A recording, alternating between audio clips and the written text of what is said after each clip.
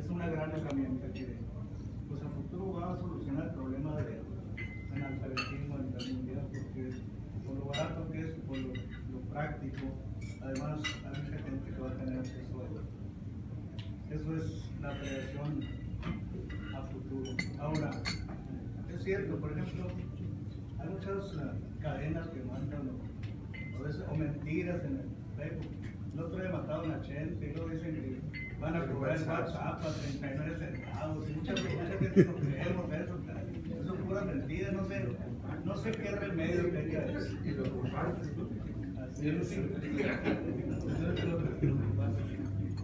Muchas, muchas de esas publicaciones son, eh, son virus, gente presentados, si no le das clic, si no das pues no, es para robar información, es para descargar también este, malware que te van a estar robando información que tengas en tu dispositivo, este, así son, eh, lo hacen por lo, y uno dice, ah, robo, pues lo